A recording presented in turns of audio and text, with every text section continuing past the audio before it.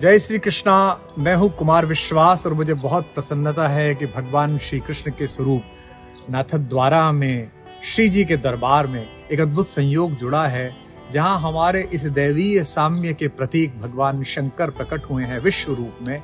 वहाँ चार नवंबर की शाम को कविताओं की एक सुरमयी संध्या लेकर मैं उपस्थित हो रहा हूँ और मैं बड़ा अभिभूत हूँ। कि वहाँ पूज्य मुरारी बापू जी की भी उपस्थिति है, अन्य गणमान्य लोग भी हैं, ऐसे बड़े सुनने वाले हों और हम जैसे सामान्य लोगों को सुना जाए, ये तभी संभव है जब भगवान कृष्ण की नगरी में शंकर जी की कृपा विराजमान हो।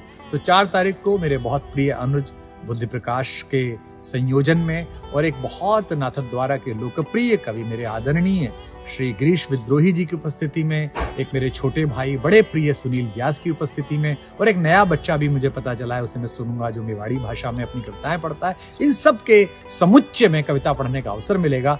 तो चार नवंबर की शाम को आप सबको आप ही के घर में आमंत्रण दे रहा हूँ। बोल बांके बिहारी लाल की जय।